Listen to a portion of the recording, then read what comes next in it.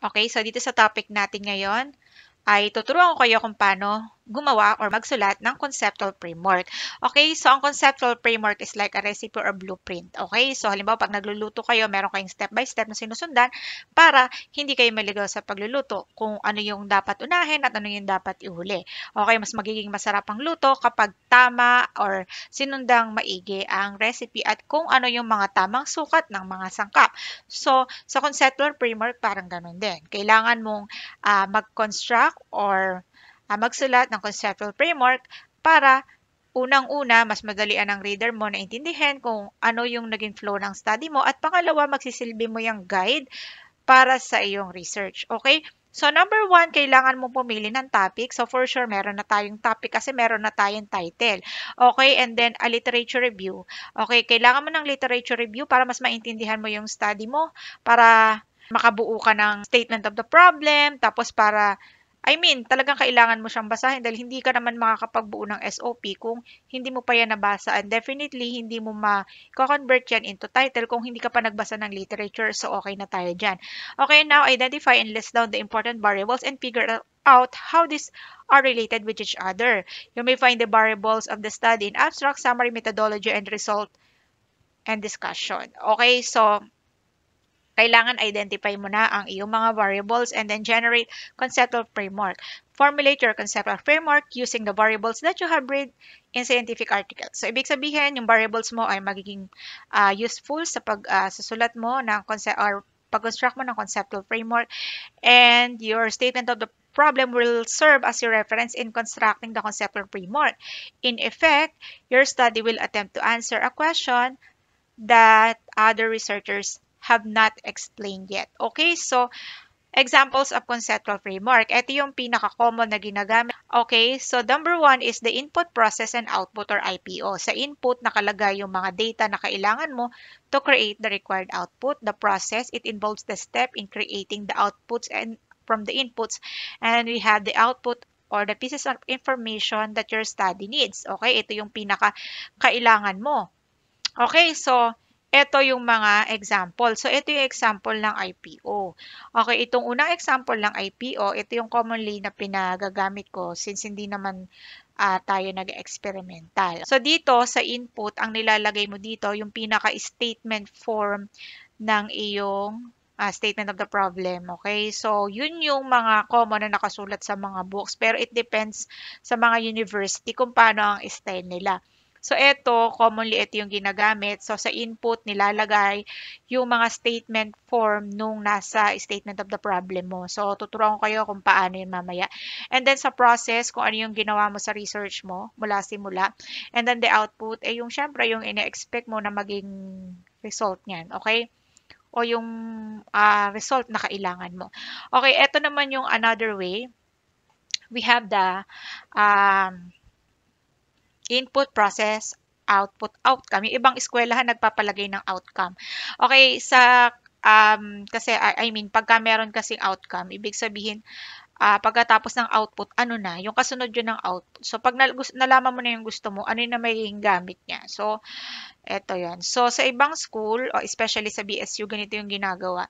Sa input kasi, ito ay study na kahawig ng aking research. So, para tong experimental type. Kaya, mas, ano siya, mas kakaiba siya dun sa una. So, dito, ang input na ko ay yung mga ginamit ko dun sa aking research. Mga, okay, bawa, DepEd Order number 31 Kemerot. Okay, uh, grade 6 K-12 uh, Learning and Teaching Guide mathematics textbook, uh, pretest and posters, and classroom observation tools. So, yung lahat ng ginamit ko sa process, analysis and evaluation of the level of understanding on the concept of integers and evaluation. Ito, para rin to yung process kanina, kaya lang nakalagay na term is analysis and evaluation. So, para rin akong uh, pinakikita dyan na nag-gather din ako ng data and inanalyze ko yung data.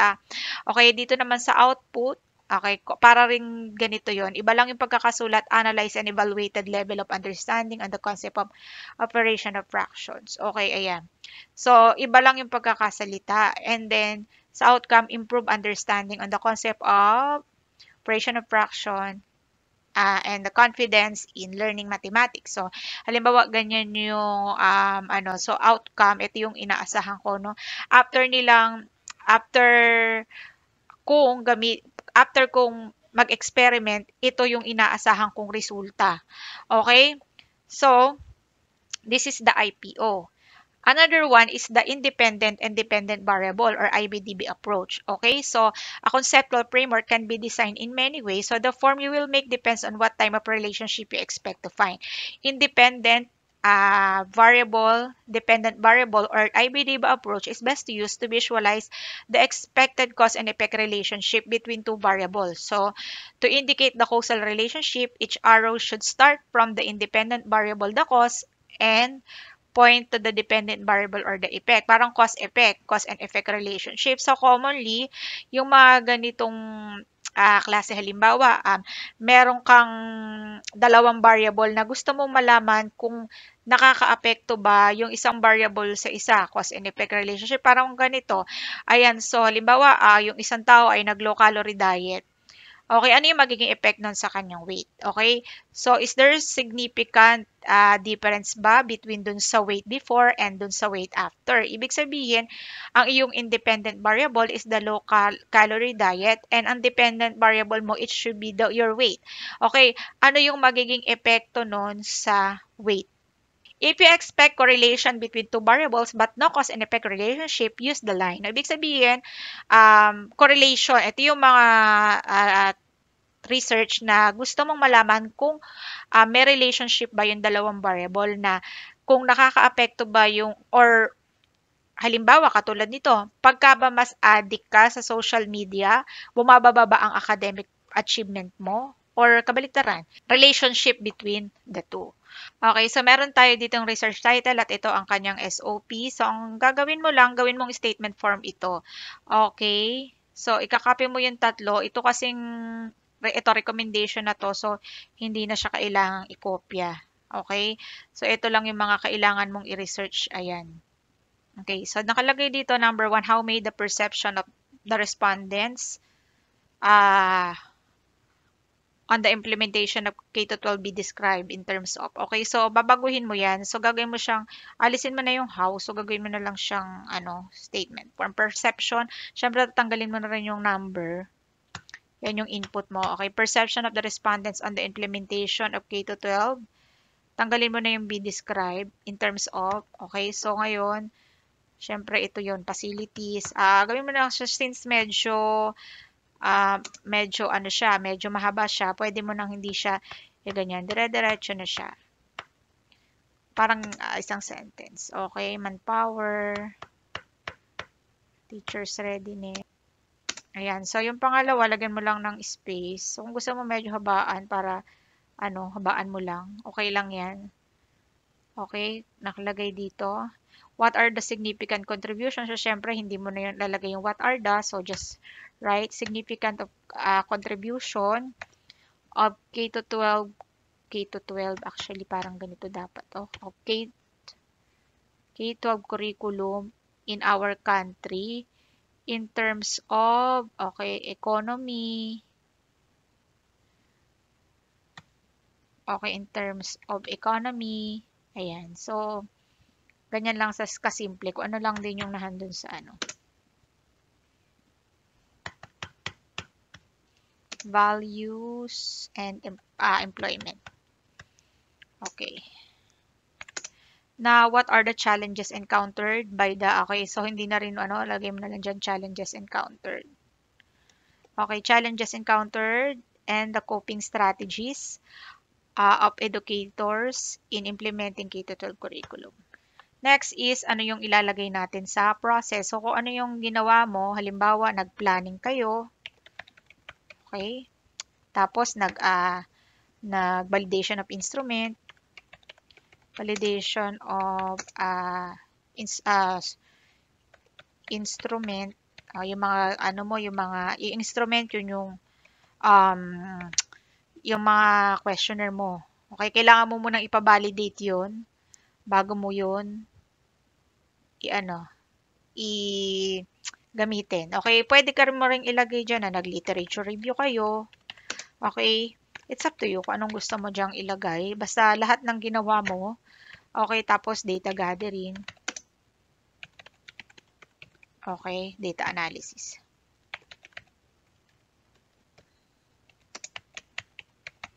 Okay. Okay, then ano yung output? Balikan mo yung general uh, objective ng study mo. Okay, so evaluated perception of the respondents. Ayan. Ito. Hindi mo naman kailangan kopyahin lahat. Basta yung nakuha mo na lang yung pinaka main point mo. Evaluation. Evaluated. Evaluated. Okay. Perception of the respondents on the content of K-12 curriculum. Okay, so another example is digital learning gap on students' class performance, a correlational analysis. So, itong isa na to, pwede mo rin tong gamitan ng IPO. Ang gagawin mo, um, ganun pa rin. Um, gagawin mo tong statement form, like about average grade of the learners during the first semester, yun ang input mo, level of digital learning gap in terms of availability of ICT devices, and then uh, access and proficiency of using ICT tools, student perception on a digital learning gap to their class performance. Okay, yon. Yun yung tatlo mong ilalagay. Hindi mo ilalagay ito. Okay? Kasi ito ilalagay mo sa uh, output Okay, so bali itong tatlo lang na to yung ilalagay mo sa yung input. Pero since ito ay correlation or relation ang mahalaga dito, pwede mo siyang gawin na ganito. Okay, yung conceptual framework mo, ang gagawin mo ay yung IBDB. Okay, line yan sa math ang double arrow o yung may dalawang arrow, it is a line. Okay? So, Since dito, relationship, itong arrow, itong uh, line na ito ay nagpapakita na may relation, uh, ng relationship or hinahanap mo kung may relationship yung dalawang variable mo. Okay, which is the digital, uh, uh, yung, uh, I mean, eto, the level of digital learning gap and the class performance. Okay? Okay, so, lalagay mo dito, uh, yung digital learning gap, class performance to, no? So, yun yung, uh, yun yung nakalagay dun sa title mo.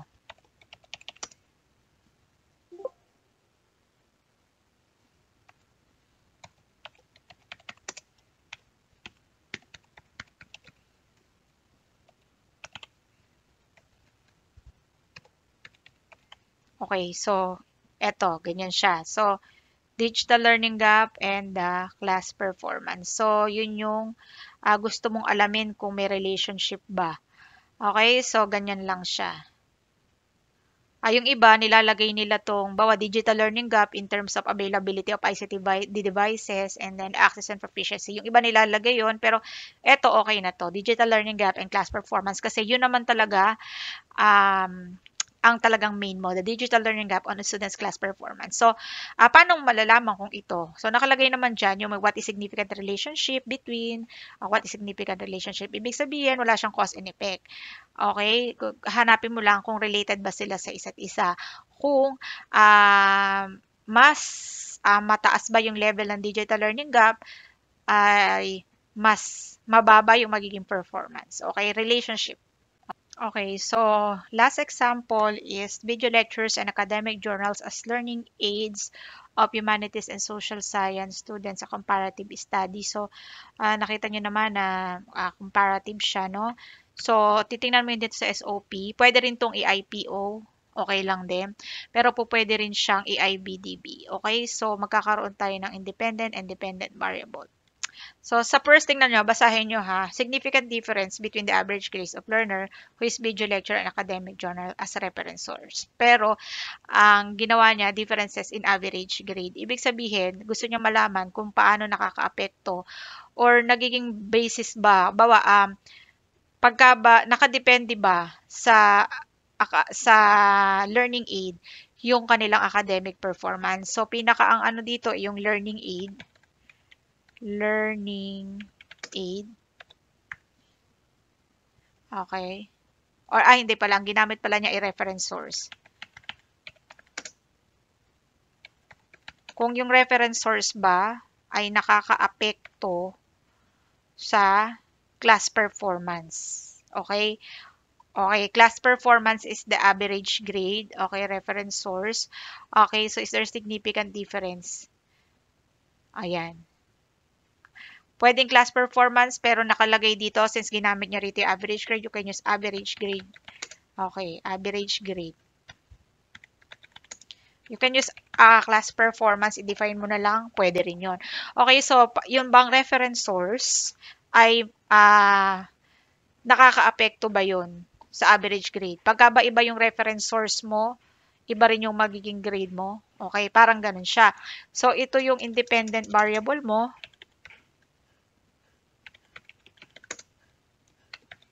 Pero commonly ito, uh, ginagamit to sa mga experimental. Pero pwede rin naman gamitin dito. Pero pwede mo rin itong gamit, uh, uh, pwede rin IPO dito.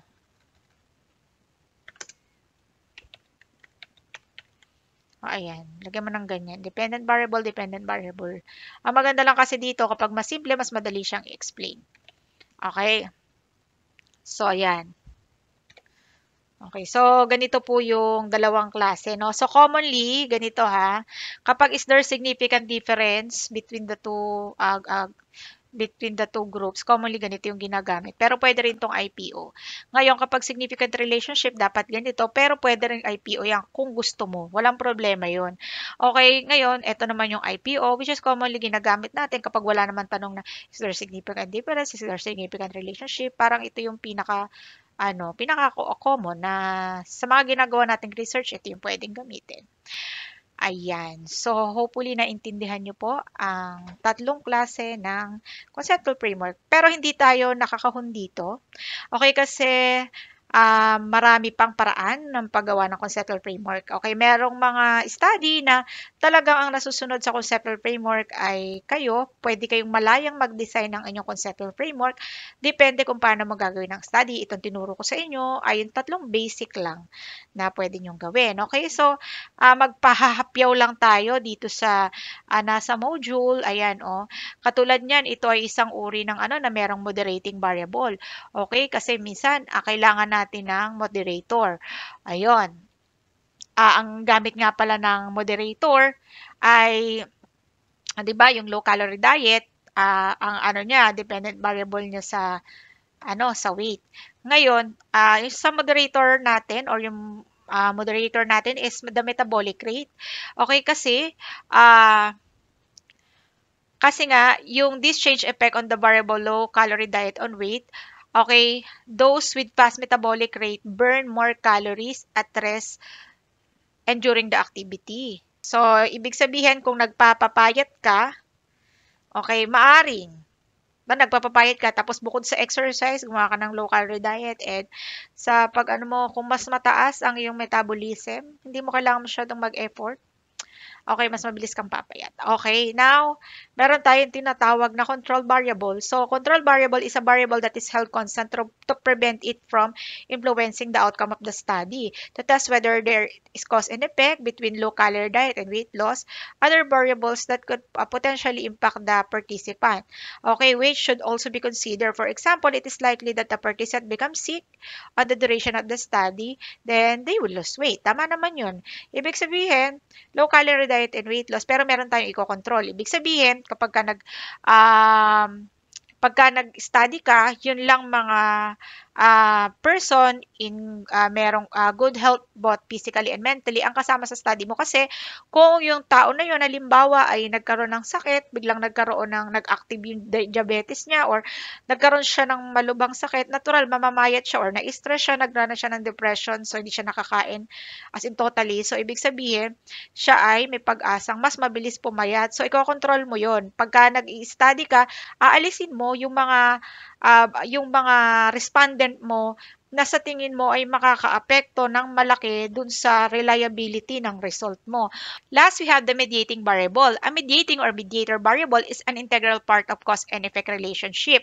It makes easier to understand how the independent variable is affecting the dependent variable and what is governing that relationship.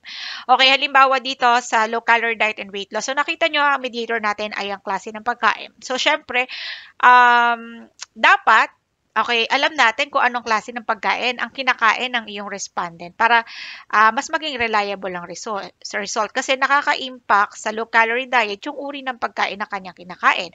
Meron kasing mga pagkain na uh, mas, ma mas maganda siyang kainin kahit na medyo mataas ang calorie niya, minsan mas nakaka, siguro minsan mayaman siya sa fiber or whatever, na mas nakakatulong siya para mas bumaba ang timbang. Merong mga pagkain na nakakatulong para mas bumilis yung metabolismo mo. At meron namang mga pagkain na kahit na, na hindi naman sobrang taas ang kanyang calorie, pero hindi nakakatulong sa iyong pagbaba ng timbang. So, mahalaga na alam natin or sinasali natin yung kung sakaling ganyan na um, isa sa mga factor ng pagbaba ay yung klase ng pagkain na kinakain.